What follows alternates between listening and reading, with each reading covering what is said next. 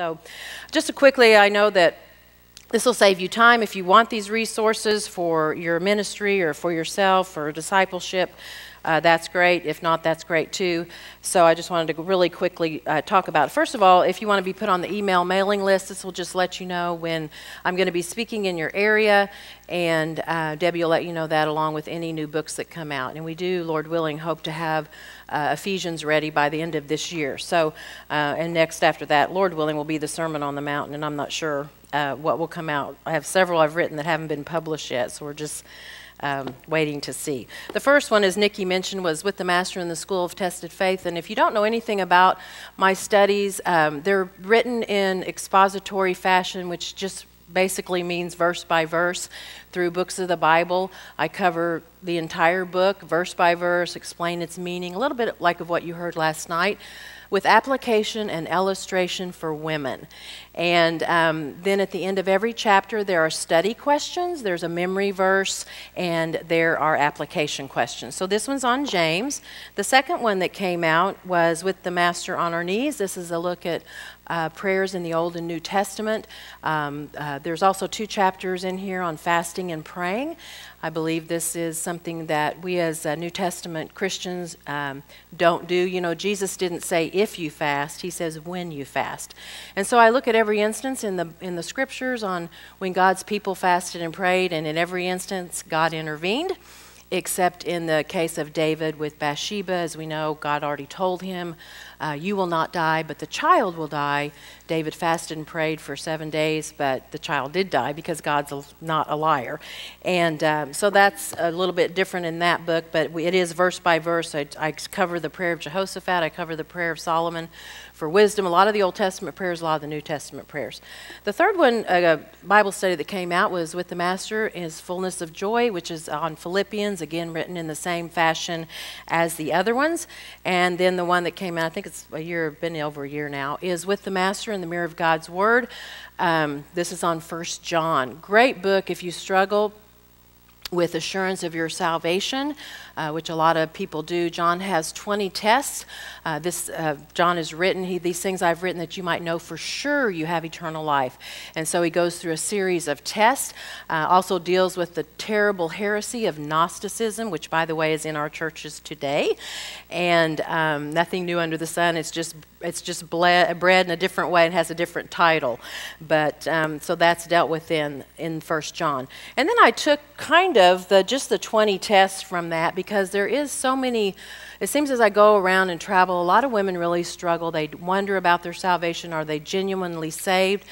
And so I wrote a little booklet called 20 Little Tests for God's Little Children. Or uh, not 20 little tests, 20 tests for God's little children. And they're not little tests, believe me. I, every once in a while I'll go through these, making sure, you know, examining my own self to make sure that I'm in the faith, even though uh, I'm 100% sure, as much as I can be, that I am. But I, as Paul says, he wants to beat his body into subjection, lest he himself is a castaway, lest he himself would go apostate. And so we want to always be examining ourselves. And so uh, there's 20 tests here for God's children. I go through each one of those in 1 John uh, and explain them. this is another little booklet that's great. If you're a pastor's wife or if you counsel or disciple, this little book, Helping Women Put Off Life Dominating Sins. It deals with the top seven sins that women commit. Um, I deal with depression is not a sin, but it's the first thing that I usually see women in the counseling room for. So that's the first thing I deal with. Seven top sins women commit, seven biblical motivations for putting off sin, and then seven practical tips on how to put off sin in your life. So that's a very helpful little booklet in the back of it. Are also the 20 tests from 1 John, along with all the tests in James. James also is a great book. If you want to examine yourself to see if you're in the faith, for sure, read James, read 1 John, and uh, that should that should answer it for you. I have a heart for discipleship, as Nikki said, and uh, every time somebody asks me, I don't turn them down. I, and uh, I was, I, I, when people say, How many women do you disciple? I go, I don't know, until I start looking at my contact list in my phone and then figure it out. But the Lord, this is really, truly a love of my life, is to disciple. And um, I, I love discipleship. I love meeting with women. I love trying to help them in their walk with Christ. And so, uh, this is an area that I think is really lacking in churches today where I, I cannot tell you how many places I've been where there are young women and they say, There is no woman in this church that is willing to disciple me. I had one young girl, she was in a church of a thousand. She asked all three of her pastor's wives to either disciple her or help her find someone, and they did not. And so finally she said, Will you disciple me? And a church of a thousand, there has got to be a godly older woman. And so, um, ladies, you, have, you that are gray headed like me, and uh, you that are gray haired and color your hair, but you're still gray, um, you need to be discipling. You need to be discipling. It's a command. In fact, I grabbed a lady in my church the other night and I said, Here's a new lady in our church. And I said, I'm really kind of to the brim right now. So uh, I said, You can pray about it, but it's a command from God. Old women are to teach young women. So Tuesday night, I grabbed her again. I said, Well, what's your decision? She goes, I'm going to do it. I'm going to do it. And I said, Good because uh, you need to be obeying God and you're ready to disciple. So this deals with uh, who should disciple, when, where, how, and all. I give a lot of practical tips on discipleship. And then uh, call to scripture memory. I do love uh, to memorize God's Word, and I share in this little booklet the technique uh, my husband shared with me when I met him over 41 years ago. Um, he had most of the New Testament memorized when I met him, and so uh, he's really the one that taught me his method. And uh, he's always teasing me when I throw those Bible verses at him. He says, I wish I'd never taught you to memorize Scripture. And uh, he's joking, of course. But anyway, um, this is my little journey on Scripture memorization. Again, how do you do it, when, where, and all those questions are answered in that little booklet. So that's kind of what's out there. We also have a lot of CDs. Everything that I've ever taught on is on CD. Um, you can also download several things from my website to listen to. You can get on Worldview Weekend. I do a weekly Bible study for ladies on Worldview Weekend. Right now I'm teaching Ephesians on Worldview Weekend. This fall I will be teaching the Sermon on the Mount. That's an internet radio, www.worldviewweekend.com. And uh, so you can listen to that. You can download the homework from my website if you want to. A lot of churches will take the, the whatever I'm teaching on the radio and they will listen to that as a group of ladies and then download the homework from my website and do that in their Bible study. So you can do that as well. We have a lot of my teachings now on DVD. We have a lady in our church, I'll let you come get this. We have a lady in our church that, um, this is Debbie, and she is definitely such a blessing to me. So you want to meet her at least. But um, anyway, um, we have a lady in our church that videos um, all my teachings on Tuesday night and puts them all together, and so she's in the process of getting all my teachings together. But we do have quite a few of them, few of them now on DVD. So, anyway, enough of all that. I am thankful. In fact, I was telling my husband the other day. I said, I can't believe we're going to celebrate our 40th. I said, I thought we, I didn't think we'd be married 40 years, and he said, Why not? And uh, I said, because I didn't think you'd live that long. um, he's, you know, especially the, well, he's diabetic. And the last five years, six years, he's had a couple of brushes with death.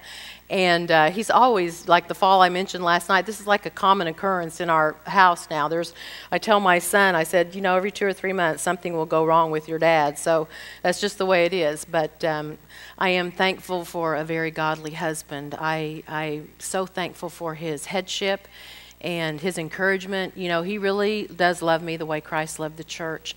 Um, he one of the things that he has done is, is as men are commanded to study their wives and to know their wives. And he has pushed me all these years to excel in spiritually in my spiritual gifts. And he's not possessive, he is not jealous, and he wants me to be serving the Lord and using my, my gifts for the kingdom. And so I'm so thankful for him and um, am, am blessed by God to have a very godly man and one that knows the Bible better, really, than anybody I know living. So, very thankful for him. And um, anyway, don't know how we got off on all that, but. All right, well, let's get down to business. And uh, now we're, we're done at 10.30, right? Or before 10.15 or something. Okay, well, this will be interesting. Can you get up here and rap with me? I don't think I could do that now. I have four adopted children, grandchildren from Africa. They could probably do that. But um, anyway. Well, let's pray and um, turning your Bibles to 1 Peter chapter 4. For those of you that weren't here last night, I won't really go into where we're going. You know where we're going, you have an outline there. And uh, the first two sessions this morning are going to be on what to do in the fiery furnace. And last night we looked at five keys to loving life. And uh, you can get that, I think, on a CD, they said, if you were not here last night. But for this morning, let's turn to 1 Peter chapter 4, verses 12 to 14, and let's pray together. Father, thank you so much for this time, and I do thank you for your word. Lord, it is the delight of our heart, for we are called by your name, O God. And I pray that this morning that the words, your words would be more important to us than our necessary food. Lord, that we would find them and they would be sweet to our mouth, sweeter than honey. Father, I pray that we would digest them and that we would uh, not just leave them there in our mind, but Lord, that we would take the things that are spoken in your word and that we would go and obey and do your word. Lord, James says, if any man is a hearer but not a doer, he has deceived himself into thinking that all he needs to really do is hear, but not do anything about it. And that man or that woman has deceived themselves thinking they're a Christian when they're not.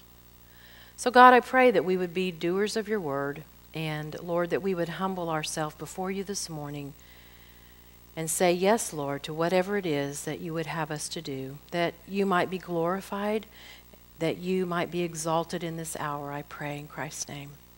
Amen. Well, as you already know, I'm uh, from Oklahoma, even though I was born in Wisconsin, but I live in Tulsa area, Tulsa, Oklahoma.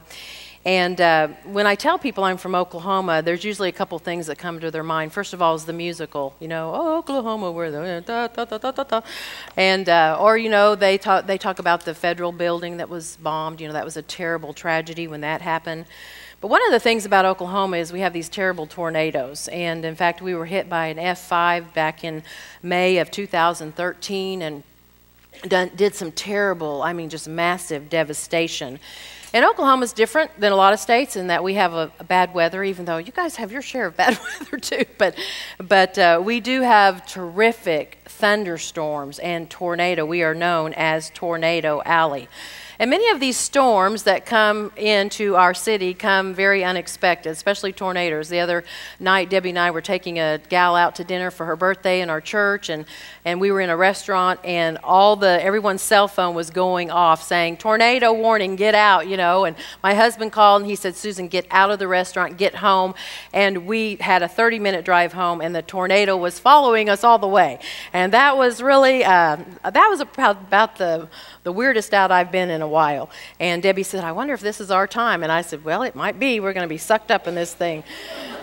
but, um, you know, in the spiritual realm, all of us as Christians have tornadoes, don't we, in our life? We have storms. Not, not physical, but we have spiritual storms. Much, as our, much of our life is filled with unexpected storms. Some storms come in the form of a mist, like a broken arm, my husband falling and breaking his elbow, a sick child, or a day in which everything goes wrong. We talked about that last night. Some storms come in the form of a steady rain, like a child who is sick for days and days and days, a betrayal by what you thought was your best friend, an unexpected move. Some of life's storms are a little more severe. They come in the form of thunderstorms, like an unfaithful husband, a rebellious child who leaves home, or a family member or a dear friend that gets sick and then dies. I think probably the most frightening of all life's storms are the tornadoes, the hurricanes of life.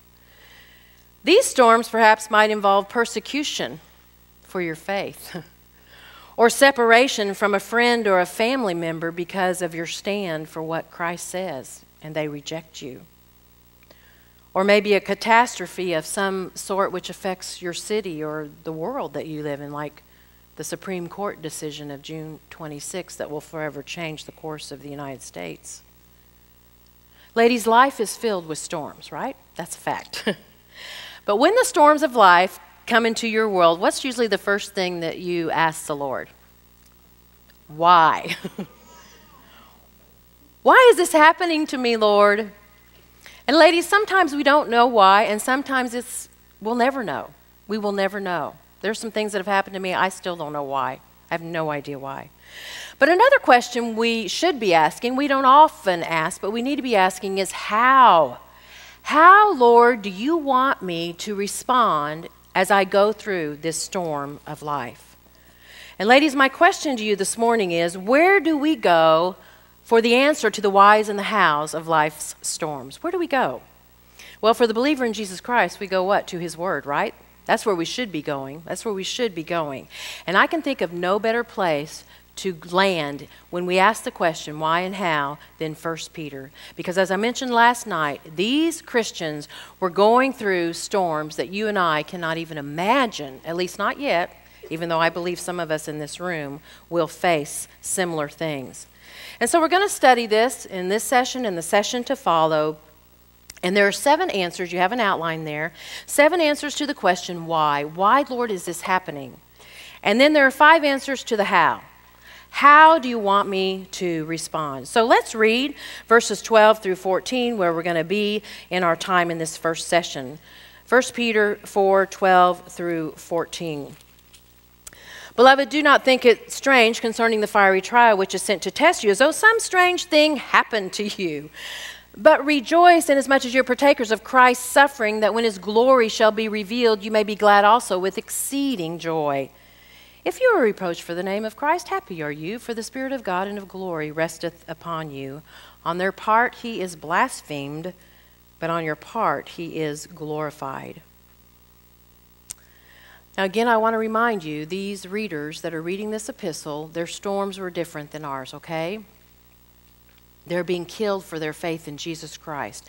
Many of them have lost their homes. They're much like the group in Syria where they've been forced to flee their homes. They have no food, they have no shelter. Many of them are being killed for their faith in Jesus Christ. And yet, ladies, the message is still the same for us as it is to them, no matter what storm you are facing this morning. And so Peter begins by saying, Beloved, don't think it strange concerning the fiery trial which is sent to test you. Ladies, it's a great comfort to me, and I hope it's a great comfort to you, and it's a great comfort to these readers that were living in that time, that Peter begins by calling them beloved. You know what the term beloved means? It means loved ones. And it reminds these suffering Christians, and it reminds you and I that God loves us. He loves us. If you are called by His name, you are beloved. And so anything that He's allowing to happen in your life this morning is because He loves you. He loves you. And that love would help these Christians, it will help us go through any storm of life. Ladies, it helps you and I to know as we go through trials to know our Father loves us. One man said, What a sweet pillow upon which to rest our weary hearts just to know the Father loves us. End of quote. Well, after reminding them of the Father's love, Peter then reminds them don't think your trials are strange.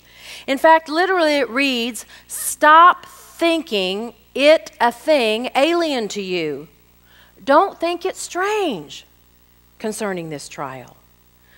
Now, ladies, we need to understand the context, context here. The Gentile converts in this time would not be used to being persecuted for their faith in Christ. This would be something foreign to them. They would think it out of place and contrary to the blessing of being a Christian. In fact, you know, I've met people today that think the same thing. They think coming to Christ means health, wealth, prosperity, no worries. I'm like, are you crazy? Did you consider the cost before you became a Christian? Jesus says, Consider the cross. Hard is the way. It's hard. It's very hard. Ladies, Jesus already made it very clear. Attachment to his name would mean what? Persecution, hatred. We need to consider the cross. Jesus says, If the world hates you, you know it hated me before it hated you. If you love the world, what? The world loves its own. They wouldn't hate you. If they've persecuted me, they'll persecute you.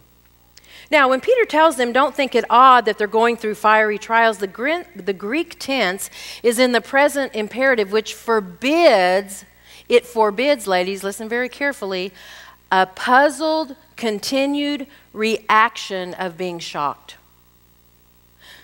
You know what this tells me? When a trial comes into my life, if I remain in that state of like, whoa, why is this happening? Lord, and I keep on doing that, I'm sinning. Because Peter says, Stop it. Stop doing that. Don't continue to be shocked at the trial that comes into your life. You know what happens if you do that? If you never accept the trial, the storm as a gift from your beloved Heavenly Father, you know what happens? You can't deal with the test. You start taking drugs or whatever it is to deal with your situation, and you can't deal with it. In fact, in the 40 years that my husband has pastored, I have watched people go through trials for long periods of time, and I wonder how come they're not able to accept this? How come they can't accept this trial as a gift from the Lord? How come they're not in church anymore? Where, what's happening to them?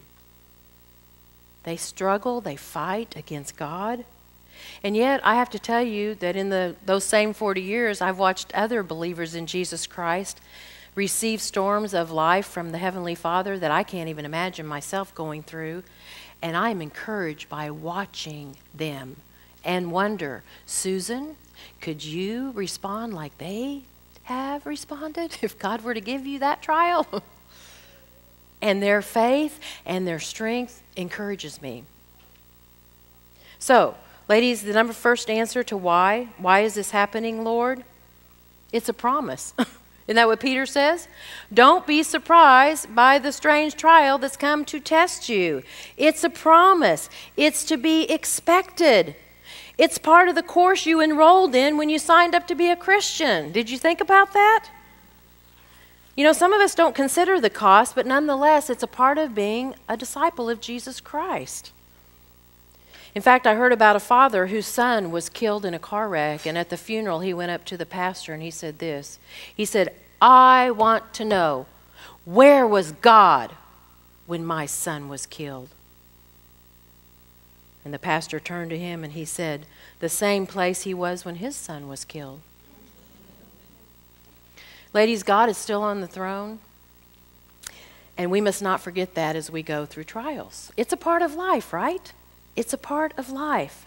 Now, notice Peter calls these trials fiery. What does that mean? Well, the word fiery means a burning or a furnace, something that is ignited. In fact, the particular Greek word is used only here and in Revelation, where it talks about Babylon's destruction and it calls it the smoke of her burning. And so many people believe this is a literal burning, it's a real, real fire. And it, that's possibly very true because remember, many of them, as I mentioned last night, they were being rolled in pitch or tar and then set to light. They were set to fire to be lit for Nero's gardens at night. I just got finished reading a book by J.C. Uh, Ryle called in, I think somebody in old times, talking about those that were burned at the stake during the time of Queen Mary. And, you know, actually, some of them, they would be, be burning and their arms would fall off and parts of their body would fall off while they were still living. And they would still be begging people to repent. So it could be literal when he says, Don't be surprised at the fiery trial because Many of them were being burned to death, but not all of them were being burned to death. So it could refer to being tested by fire, as Peter says, the fiery trials which are sent to test you. In fact, in 1 Peter 1 7, he's already talked, talked to them about being tested as by fire. And he refers to it there in 1 Peter 1 7 as a refining process that gold goes through, where it's melted and this hot, hot fire until all the impurities are skimmed off, and then you have left this pure gold. You know, that's what Job says. He says, I know that he knows the way that I've taken, and when he has tried me, I will come forth as gold. And ladies, Job went through a trial that you and I can't even imagine going through. Losing all your kids, losing everything you own, having a, a lovely wife that tells you to curse God and die. I mean, having sores all over your body, and yet he says, He knows the way I take. And when he's finished testing me, I'll come forth as gold. I'll come forth as gold. The psalmist says, For you, O God, you, O God, have tested us. You have refined us as silver is refined. You know, we might say today, boy, she's really going through a fiery trial. fiery trial. So, the second answer to why, why, Lord, is this happening? There's a purpose. It's to test you. Peter says, Don't be surprised at the fiery trial which is sent to test you. In fact, the word for try means here in the Greek to try you for probation or a putting to the proof, trying to see if you are genuine. Ladies, God wants to test us to see if we're real. He wants to test us, He wants to purify the sin out of our life. Will I persevere? Will I deny the Lord? You know, the storms of life really show what we are made of, don't they? Aren't they? I think as we as women go through the trials of life, it really shows who we really are. It shows who we really are. Are we really leaning on the everlasting arms? Are we really a child of the King? Are we leaning on our own strength? Have I been faking it all these years, telling people I'm a Christian, but then God decides to put me through a fiery trial and I, I cater? Ladies, these things come out as we go through the trials of life. Well, Peter goes on to repeat what he just said. He says, Don't think it's a str- some strange thing that happened to you. Ladies, why do we think trials are foreign to believers? Why do we think God has promised us a life of ease and comfort? In fact, the Greek here is it's a strong Greek word that means God forbid. God forbid that you would ever think that it's strange that he would try you or test you. Ladies, nothing just happens in the life of a believer. Nothing just happens. Nothing. Persecution and suffering is not an accident. It's all part of God's divine plan for your life. He appoints our days, our times, everything. He knows even when you're going to die. You know, I was talking to a gal the other day. I was discipling, she says, "You know, I don't know worry, why I worry about all that stuff." He, she says, "God has an appointment for me, and He He knows when it's going to be. He's not going to take me one minute before He's ready for me. He knows all that." So instead of spending time sitting around thinking it's strange that you're being tested with a trial, notice what Peter says in verse 13. he says, but, which is a contrast, but rejoice. Rejoice to the extent that you partake of Christ's suffering. In fact, there's two words for but in the Greek one is dei, one is alla. This is the stronger Greek word, the strongest of the two. So instead of sitting around thinking, whoa, whoa, whoa, whoa, wait a minute, Lord, what are you doing? What are you doing? What are you doing? You say no, but you rejoice. So here's your first answer to how. How, Lord, do you want me to go through this trial that I'm going through this morning? He wants you to rejoice. He wants you to rejoice. And the Greek word there means be cheerful. He wants you to be cheerful. In fact, you know, Peter's going to mention four times about the joy that we should have in the next two verses as we go through trials. He uses words like rejoice, be glad, be exceedingly joyful, be happy, be blessed. Now, ladies, when's the last time that you were presented with a fiery trial and you were rejoicing? In fact, the Greek indicates here it's not a one time rejoicing, but it's a continued attitude of rejoicing as you go through this trial. Why? Why should I rejoice? Peter says, notice what he says, because we're partakers of Christ's suffering. Because we are a partaker of Christ's suffering. One man says this faith realizes that the ground for rejoicing does not lie in the suffering themselves, but in the fellowship with Christ that they bring.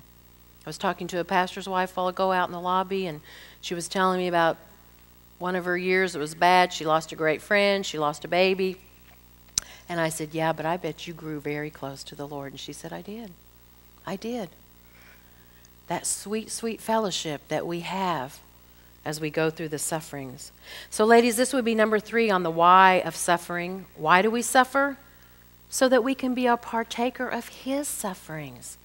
So that we can be a partaker of His sufferings. And notice Peter says something very interesting.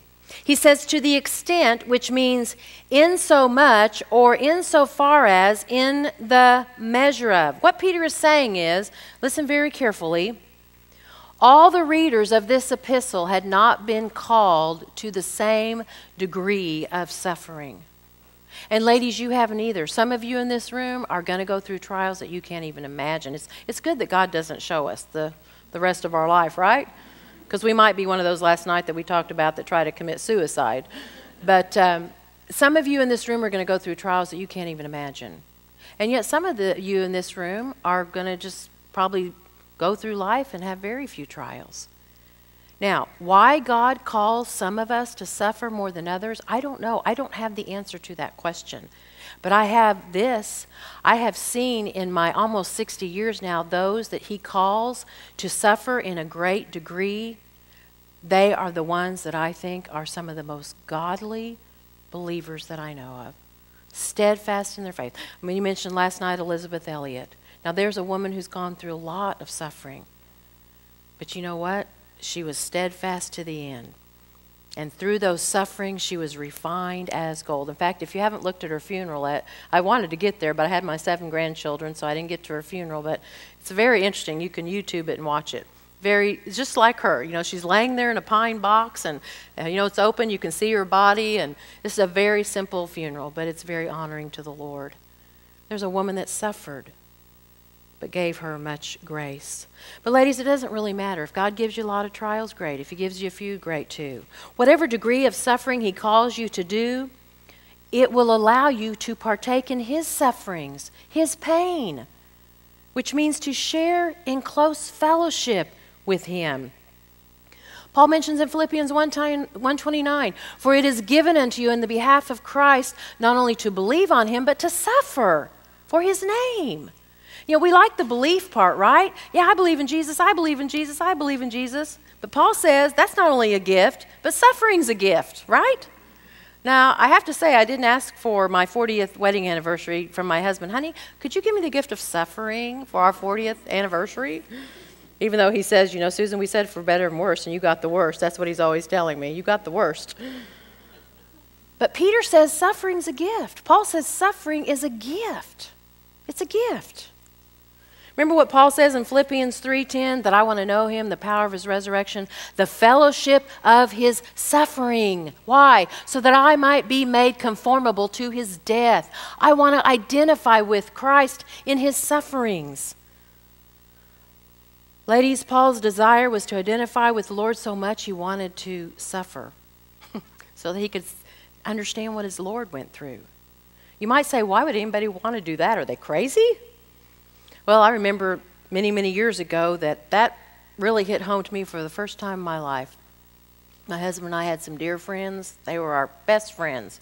We did everything together. Our kids did everything together. And some things came to our attention, and we had to confront them on a sin issue. And it went south, and we lost the friendship over it. My husband and I didn't sleep, eat for two weeks. I would go to bed at night and just stare at the ceiling. Couldn't believe this one of those times I, I should have remembered First Peter. Don't continue to be surprised. And uh, but I was young then, probably probably 30ish, something around there. But um, I, for the first time in my life, I thought, Lord, that's what that means. I can identify that when Peter denied you, when Judas betrayed you, and you know, for the first time, I could say, Thank you, Lord. Thank you. Now I know a little bit of what it was like when all the disciples forsook you and fled. And I could say, Thank you. Thank you. My friends, suffering allows us to identify with the Lord. Do you want to know Him? You know, we, we like to sing these worship songs, yeah, I want to know you, and rah rah Jesus. But, you know, and you have those tingly, you know, goosebumps and all that. But do you want to know Him in the suffering? In suffering? It's a privilege, it's a gift. In fact, Paul says something even more crazy. If you think Philippians is crazy, Colossians 124. He says, I rejoice in my sufferings for you and fill up that which is lacking in the afflictions of Christ for the sake of his body, which is the church. You know what Paul says? I'm pursuing a course of life which will cause me to suffer so that I can fill up what, what is lacking in my life. in suffering. I want to identify with Christ so much. No wonder we, as we read those lists last night, you know, beaten 40 times and or, or three times he was beaten, you know, 40 stripes, and he was out in the middle of the sea naked, and I mean, this guy was crazy, you know. But he wanted to identify with his. He loved the Lord. No wonder Paul can come, come to Romans and say, "I wish that I could go to hell for my kinsman." I mean, ladies, have you thought through that passage? I would go to hell for you. I, I am sorry, I'm not there yet. I'm not Paul. I know there's no spiritual giants. I agree with Paul Washer, but I'm not there with my brother Paul. I mean, I, I want to go to be with my Lord. I, I don't know that I could go to hell for anybody, but Paul, he wanted to pursue such that course so he could know the Lord.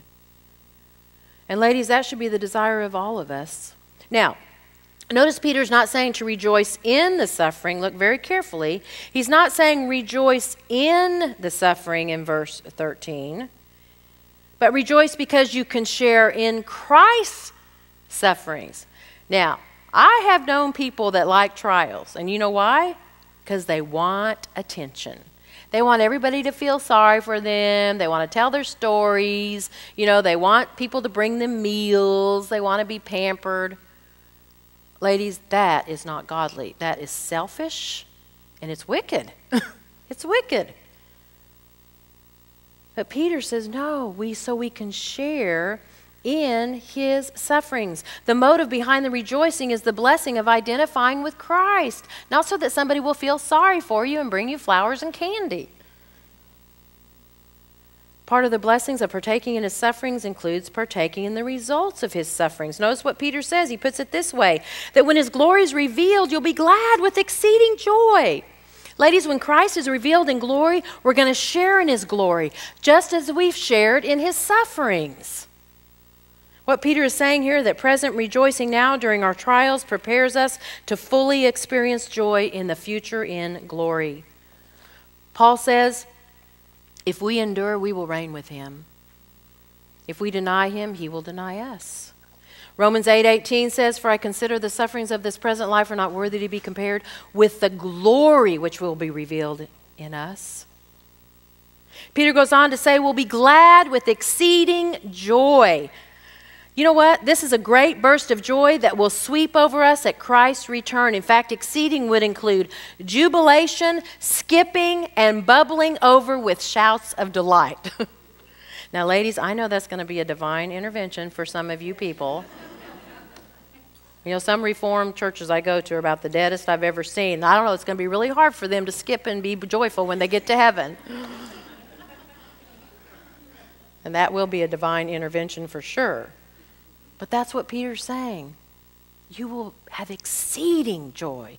I know some of you, you know, you squelch all those emotions, but when you get to heaven, that's not going to happen because you're going to be in your glorified body.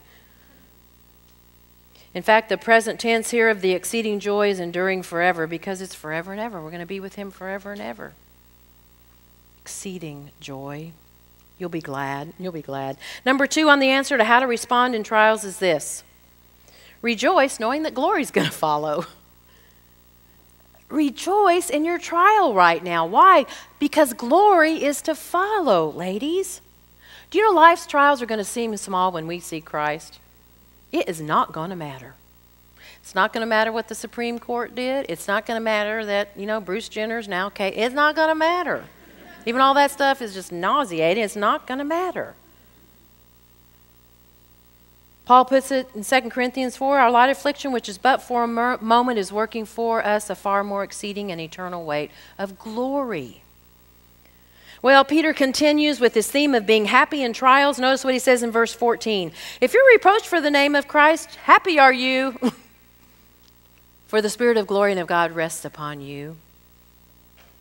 The word if is not really if, it means since or in view of the fact that you are reproached for the name of Christ.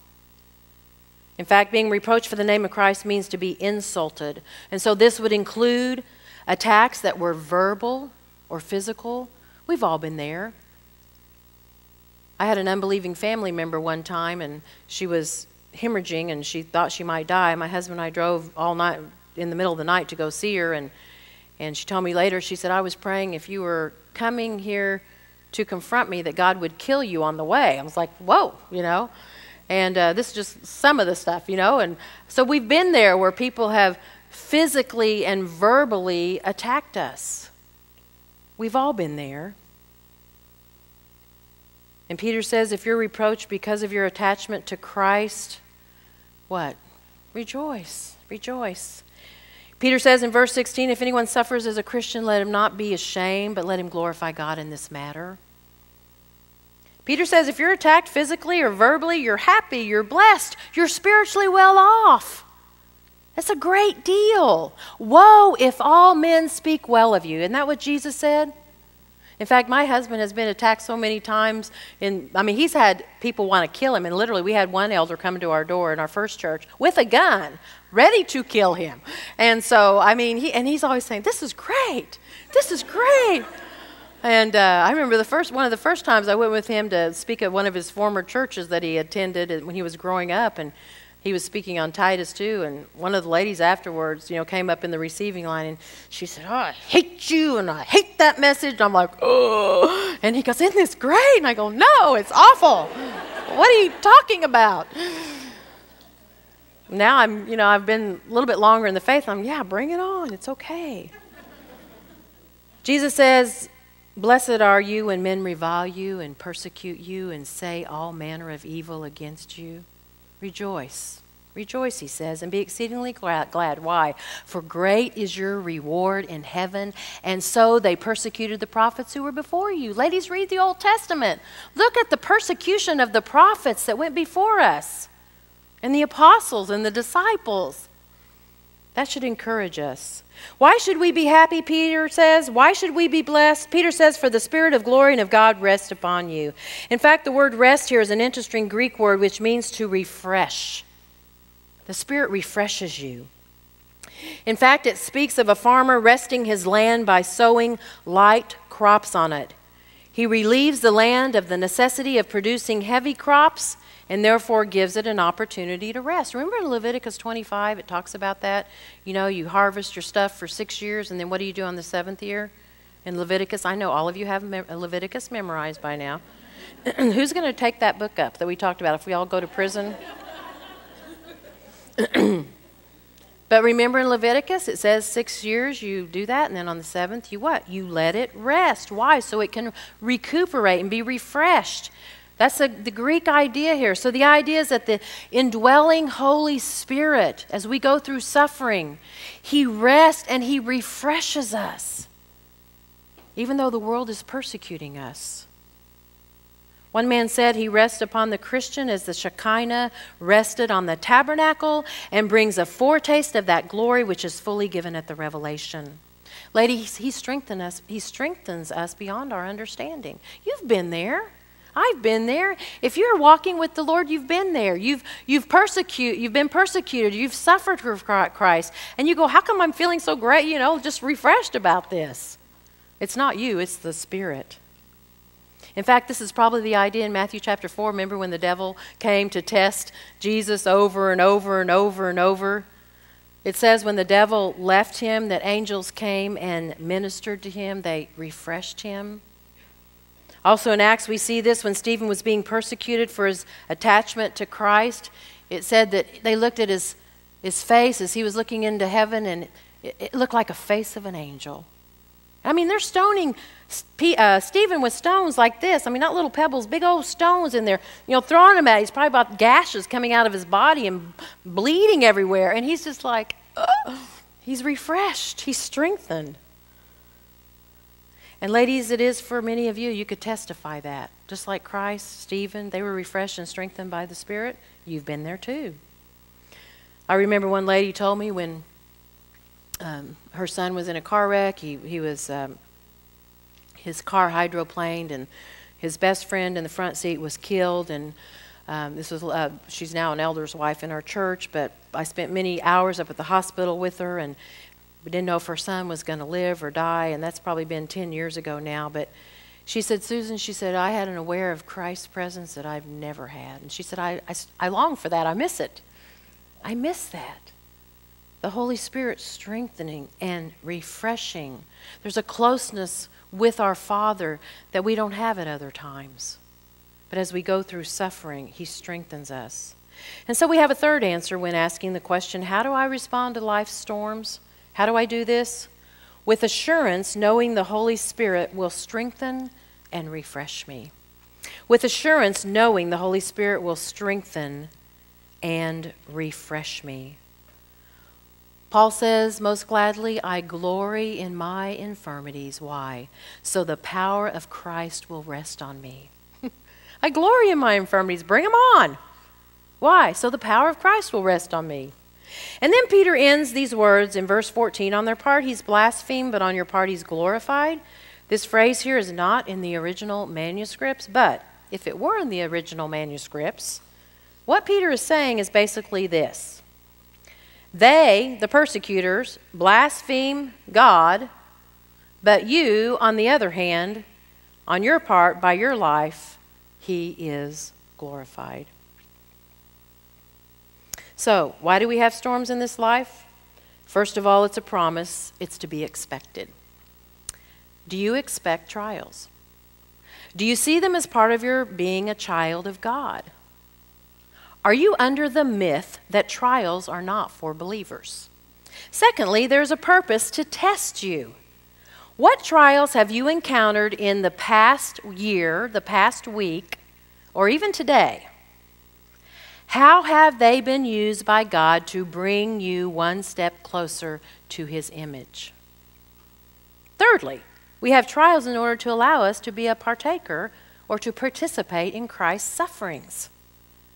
Is this a comfort to you to be able to fellowship with Christ in His sufferings? Secondly, how do we respond to difficulties? First of all, with an attitude of rejoicing is this your response to trials that God allows? Now, I understand it might not be the immediate response. When my husband fell a few weeks ago and I realized how significant his injuries were, I can't say, oh, this is so great. you know, I, I but, again, but as the morning went on, I, I was at peace. This is what God wants for me today. You might not be able to respond immediately with joy, but eventually, you have joy knowing that God is doing something valuable in your life for your good. Secondly, we are to rejoice knowing that glory is to follow. When life hits you with a trial, do you let your mind drift to heaven and what is to come, which is glory? Do life's trials seem small to you compared to eternity and seeing Christ? And lastly, we respond with an attitude of assurance, knowing the Holy Spirit will strengthen and refreshen us. How did the Spirit strengthen and refreshen you in your last trial? Well, I know many of you are facing storms of life today. For some of you, it might be a mist. Some of you, a steady rain. Some of you are going through thunderstorms. Some of you are going through tornadoes and hurricanes. But, ladies, whatever type of trial God's allowing, whether small or great, will you allow it to bring you closer to the Master as He walks with you through the fiery furnace? Let's pray. Father, thank you for this time in your word, I, I, look forward to completing what Peter shares with the readers, these persecuted Christians, our brothers and sisters that are now with you. And I pray, Lord, that you will use um, this session and the one to follow to encourage my sisters here as they go through the sufferings of this life, whether they're trials or persecutions for being attached to you. I pray that you will use these words to encourage them, that you would be glorified through them. In Christ's name, amen.